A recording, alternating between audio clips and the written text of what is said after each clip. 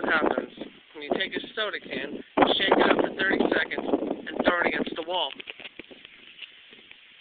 Ah, fucking son.